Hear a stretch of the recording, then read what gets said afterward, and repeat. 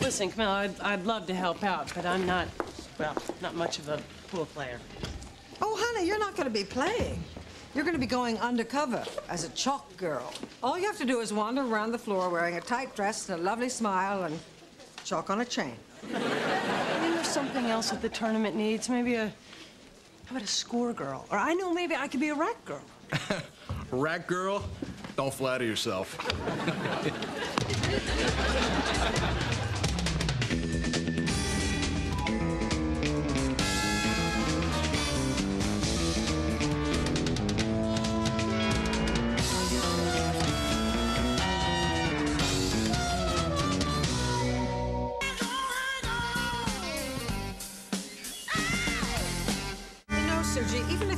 had your own office, you still wouldn't be allowed to smoke in it. Can't you just quit that disgusting habit? No. I've come a long way, baby, and I'm alive with pleasure. Well, the whole discussion is moot anyway. I just don't have an office I can spare you. Yes, you do. Jed Seidel from Human Resources died this weekend. Jed died? Uh-huh. Really? Good morning, Camilla. I come bearing sad news. Oh. One of our beloved colleagues. I already claimed Jed's office. What? Camilla. No, I deserve it. My office is too small. I, I need more space. I'm bigger than you are. I need more space. I breathe more air. Well, if you're using more than your fair share of the planet's resources, perhaps we should just shoot you. Just give it a rest before I shoot you both. And not to kill either. Just in the kneecaps. So you writhe around on the ground, begging me to finish you off. I've been shot. It's not so bad. Get out of here. Come on. I don't care which of you takes Jed's office. Just as long as you get out of mine. I'm an editor, not a landlord. Okay, but you seems know, very obvious. well, if I. Goodbye. Goodbye. I know how to settle this. Where I come from, if someone dies, everyone in the village is free to claim the dead guy's hut by placing their hands on it. After several days, whoever's left standing, still touching the hut, becomes the rightful owner. You were born in Sherman Oaks. So I saw it at the mall. Someone kept their hands on a brand new Chrysler minivan and three days later drove off in it. Okay, you can't honestly be suggesting that we keep our hands on Jed's desk until one of us collapses. Or I could flip you for it. Literally. I'll meet you in Jed's office at noon. Make it one o'clock. I gotta wipe the fingerprints from my new Chrysler minivan.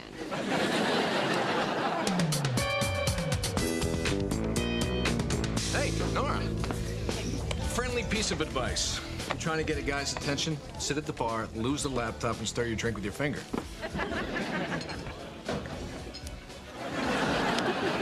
What are you doing here, Jake? Grabbing a cold one before band practice? No, tournament's tomorrow night. I Figured it wouldn't hurt to reacquaint myself with old Mahogany Joe. Why is it that men feel compelled to name anything longer than it is wide? Pride of ownership, I guess.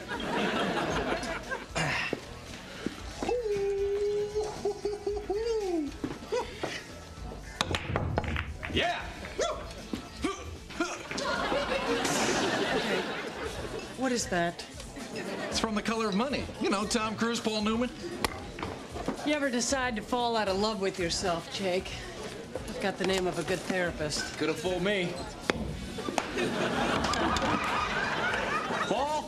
Paul? Thank you. You know, you should you should try aiming just a little bit higher on the cue ball. I thought right you didn't now- play. Me, no, no, I don't. But you know, when when I was married to Leland, uh, he and his buddies used to play pool, and I used to sit around and and watch them. You know, until they'd ask me to leave. I guess they found me a little distracting. Something about being too chatty. I don't know. so- No. That's me. All right, why don't you keep an eye on old Mahogany Joe and uh, Shark Sullivan I'll teach you a few tips when he gets back.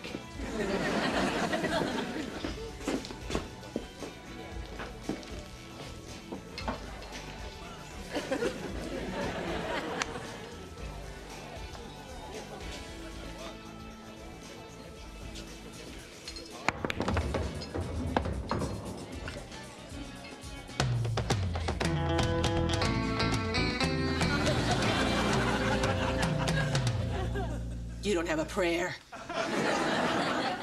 My victory will be swift. I grew up in a house with seven children and six chairs. I can stand here forever. You see, you're only looking at my physical form. At this moment, my astral self is off enjoying the Van Gogh exhibit at the Getty. Oh, Harris, for Pete's sake, there you are. I need you to. What is going on here? We decided whoever could keep their hands on Jed's desk the longest could keep his office. Oh, well, good. I'm glad to see you're settling it like adults. Ah, irises. Van Gogh's sense of color and texture is exhilarating. I wonder what's in the gift shop. Oh, God. Not his astral self. Harris, I've got five stories here on hold waiting for your signature. Yes, Harris. Take your hand off the desk and sign the papers. That won't be necessary. You see, while pursuing my master's in anthropology, I taught Koko the gorilla conversational Latin. She, in turn, taught me how to use my big toe as an opposable digit.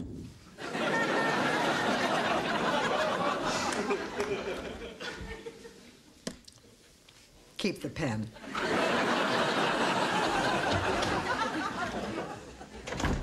You know, Harris, you're looking a little tired.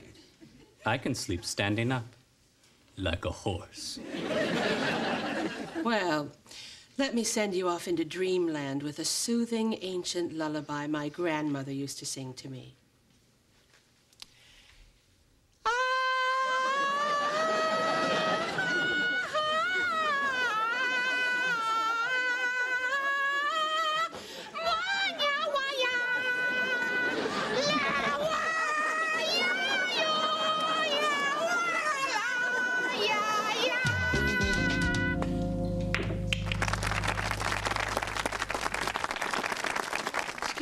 Thanks. I won't be needing any chalk.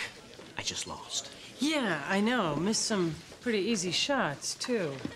Off the record, anybody uh, ask you to take a dive? Oh, you there, Chalk Girl.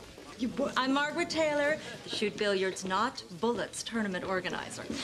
Are you aware that you are standing outside the designated Chalk Girl zone?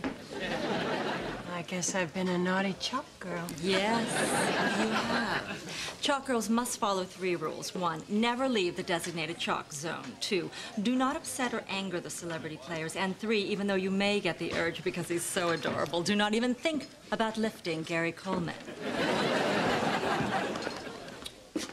Hey, Nora, how's the uh, chalk thing going? I'd rather be pouring pitchers at Hooters. I, I think that she's on to me, Jake. No, no, you look pretty convincing. Hey, uh, how come you never wear this little number at work? We don't use much chalk at work, Jake. You know, that's that's always bothered me. Hey there, sweet thing.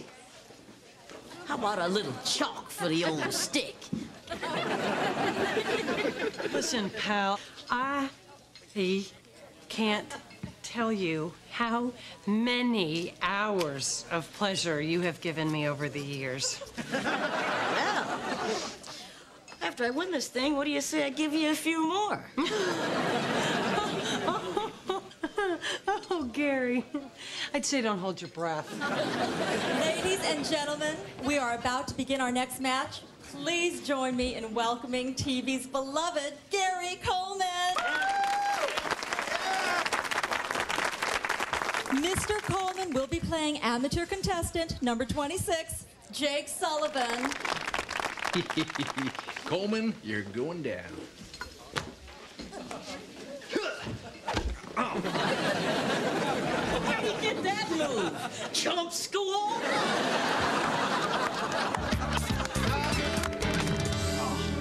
Oh, I can't even see anything out of this. Nora, you're gonna have to go out there and take my place. Well, no, no, no, no, no, no. I can't play. No, I mean, well, that's not true. because, I mean, I can play, but I can't. No, I can't. I can't play. What? Jake, the other night when I told you that I couldn't play pool, I lied. Okay, that story about Leland and his sharpshooting buddies, I didn't watch them. I annihilated them. Michael Milken ran out of money, he wagered his hair. and I took it. Nora. Oh. Look, Jake, you don't understand. I mean, back in college, I'd wake up mornings after a feverish night at the pool hall with balled up 20s in my pockets. I had no idea how they got there, whose stick I'd used, how many games I'd played. All I knew is that I'd won, and I didn't care how. You have to go out there, or we're gonna lose the story. Hey, hot dog. Crowd's getting restless. You lucked out, pal. I can't play. Oh, I knew that. hey, look, a forfeit is still a win in my book. Say, Babylicious, I don't need it, but I sure love to watch you do it. How about a little more chalk? Okay, that's it. Chalk Girl is dead, and so are you, Coleman. Out there, rack 'em up.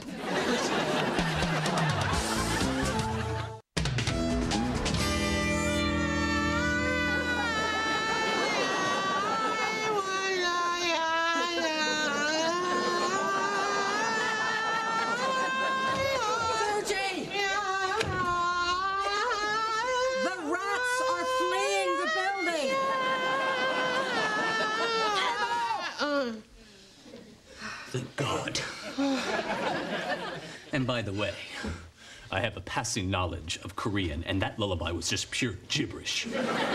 I never said it was Korean. I just said my grandmother used to sing it to me. It's been over 24 hours. If this ridiculous contest does not end by morning, I'll. I'll change this room into a quaint little bed and breakfast. Out for the money, mind you. Just because it's always been my dream. You know what I like to do? When the pressure gets too intense, I relax with a long, slow drag on Johnny Smoke. You're not a smoker. No, but you are. and you just quit cold turkey yesterday. Care for one? What's the catch? No catch. Just fetch.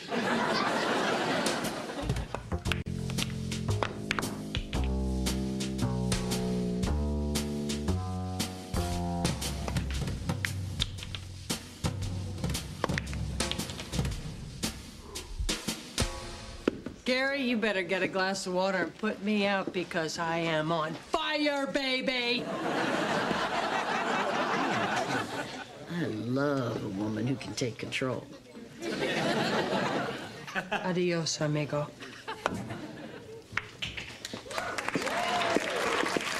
Nora, you weren't lying. You you were good. Just warming up. Yeah. make yourself useful and score me some Jose Cuervo, will you?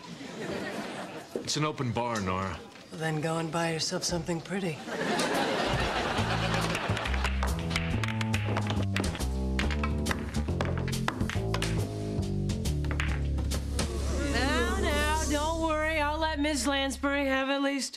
One shot.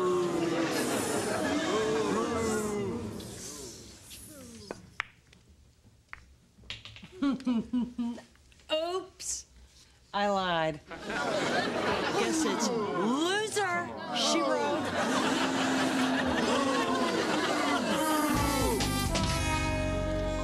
Don't feel bad, Suji.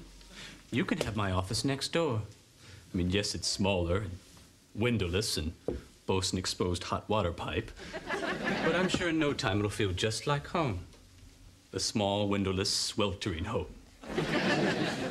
Damn this sweet, sweet addiction.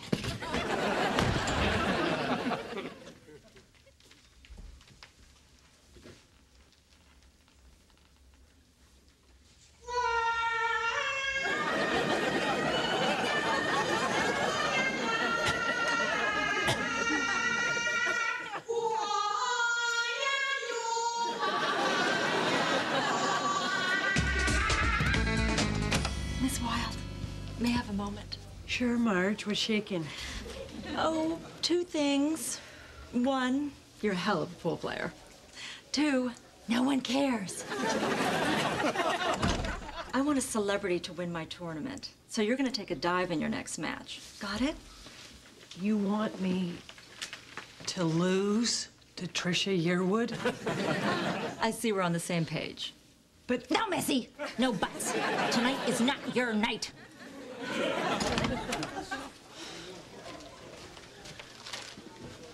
So, did you get it? Did she tell you to take a dive?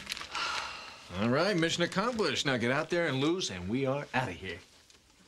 not my night. Not my night? That's right, that's right. Now come on, go fall on your face and make it quick.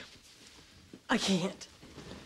I mean, I am back in, Jake, big time. I didn't think it was possible, but I am playing better pool than I've ever played in my life. I gotta get, I gotta just get one more win, okay? You know, I just All right, Nora, Nora, Nora, Nora. I know this is hard for you, okay? But th- this is the perfect opportunity for you to prove something to yourself. Prove what? To prove that you can, you can control this thing, that you can lose. Okay, but if, if you're gonna be, if you're gonna be a loser, you gotta think like a loser. Okay, you, you gotta go out there and, and, and keep telling yourself, no, I can't. Now, you get out there and you give it the old 10% and choke like a dog on a chicken bone. Well, I guess it's just down to you and me. Don't worry, I'm a very gracious winner, unlike some people. It's for charity, right? We're all winners.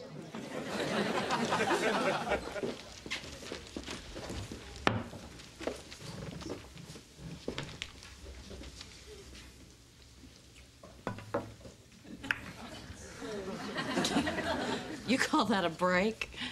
This isn't gonna take long. Excuse me.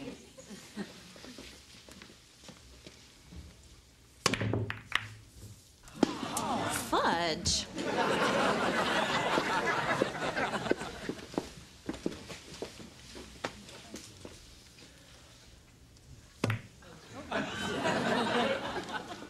Your turn.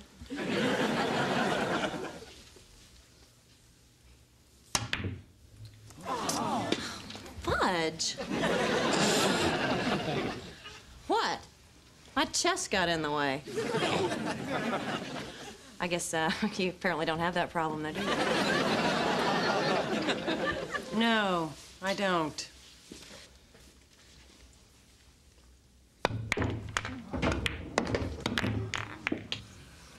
Oh, Nora.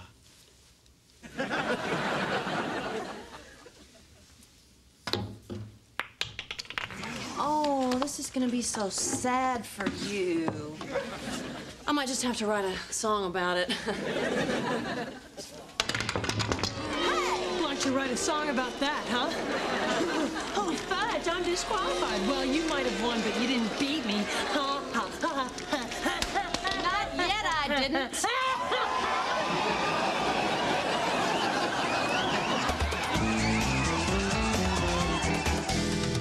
Gotta hand it to you, Nora. Last time I saw a rampage like that, Bill Bixby was turning into the Incredible Hulk. I miss Bill Bixby. He was one of the good ones. To Bill. To Bill. Ah, you know, I, I gotta tell you, most guys, they'd see what you did tonight and they'd say, not in my Porsche. One of the many reasons I don't date guys with Porsches. Actually, I, uh, I thought you were pretty great tonight. You gotta be kidding me. You like seeing me at my worst? What can I say? Whenever I see a girl being pelted with garbage by an angry mob, you know, it just, it gets me right here. What do you say to a, a quick game of eight ball? No? Well, yeah, I mean, if you're up for it, I, I guess it's getting late. No, no, I'm, uh, I'm up for it. All right, great. You break. Okay.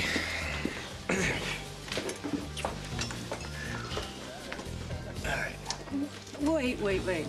You know, your your pool cue and your line, it's, uh, wait. What? Do you mind? But it's, No, no. why not? Um, this might feel a little awkward, but I think it'll give you a lot more power. Just, um, yeah. All right. Grip this. Like, What? Right there. yeah. Okay. Okay. Oh, that's good. Yeah. Yeah.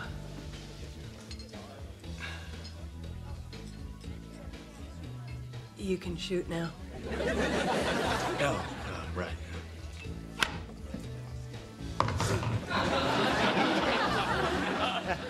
Oh, fudge.